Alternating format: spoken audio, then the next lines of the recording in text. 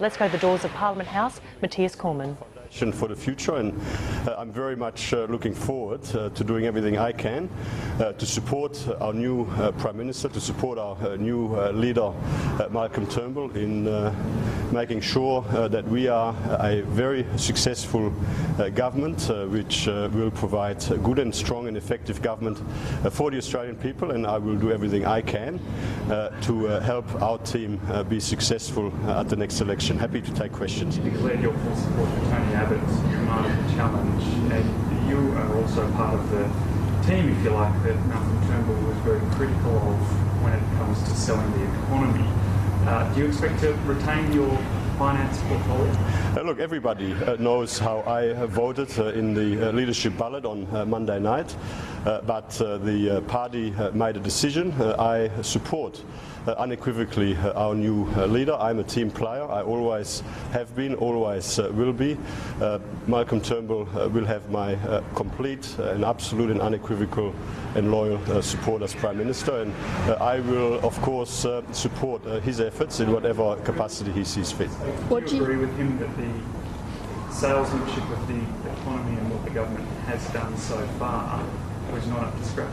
Look, we uh, can always uh, do better. Uh, obviously, uh, when we uh, came into government, uh, we inherited from the previous Labor government a very challenging situation with a weakening economy, rising unemployment, a budget position which was rapidly deteriorating at a time when we were facing global economic challenges. The previous government, the previous Labor government, put more and more lead into our saddlebag. So, obviously, we've been working over the past two years to improve our competitiveness uh, as an economy. Uh, we've been working uh, over the last uh, two years to uh, do everything we can to help business uh, be more successful in what are challenging, challenging times. And I look forward in the months and years ahead to work with Prime Minister Turnbull to do everything I can Uh, to help put Australia on a stronger foundation for the future. What do you say to calls for ministers who supported Tony Abbott to stand down?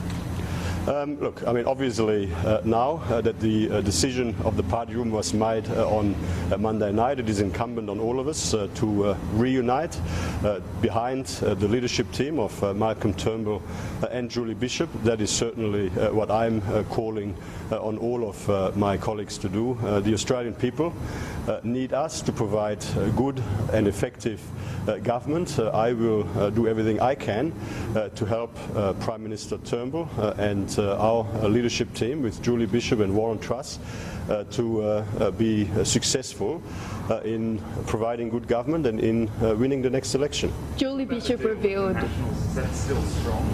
And I suppose related to that, are you comfortable with an effects test being put in place? Uh, well, uh, the uh, agreement uh, with uh, the uh, National Party uh, was uh, essentially a formal uh, reconfirmation of existing policies and existing budget commitments in the main. there was also in there a commitment for full cabinet consideration of relevant recommendations of the Harper Review into competition policy, and, and, of course that, is entirely appropriate. I might just say here that there were some reports reports uh, in the media today about the uh, cost of that agreement, and let me just say that the uh, number that is quoted there is not correct. as, I've, as I've indicated, the uh, overwhelmingly, uh, the uh, features of that agreement are a formal reconfirmation of existing policy and existing budget commitments. the uh, part of the agreement which deals with additional support for lower income uh, families is uh, something that uh, Minister Scott Morrison uh, has been discussing uh, with Senator Matt Canavan and other senators like Senator Bob Day and Senator John Madigan for some time. It's part of a broader uh, revised uh, families uh, package which will be fully offset and as such budget neutral and I might just say for completeness uh, that the uh, impact on the budget uh, bottom line of um, any additional uh, spending measures uh, in the context of this agreement or any other decision of the government will of course be reflected in a half-yearly budget update uh, later this year. and the um, commitment of the government is to offset any new spending on higher priority areas, on identified higher priority areas with spending reductions in other comparatively lower uh, priority areas. Last night, Julie Bishop revealed that she knew that Malcolm Turnbull was planning to challenge in the days leading up to it. Should she have informed Tony Abbott earlier? Uh, well, look, I, I'm not going to uh, provide a running commentary uh, on the ins and outs. I mean, all of this is now ancient history. Uh, the uh, party made a decision on Monday night. I support the new leadership team.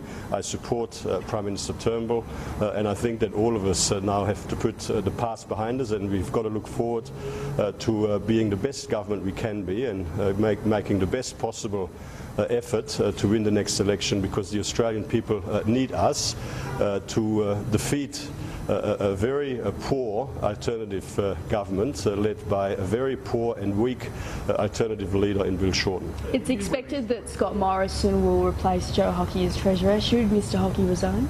Uh, these are entirely matters uh, for the Prime Minister. Well, are you willing to put forward a view on, personal view on the effects test? Uh, because this is something that would uh, be seriously challenged by the, the supermarket chains and would likely push up costs for consumers as well.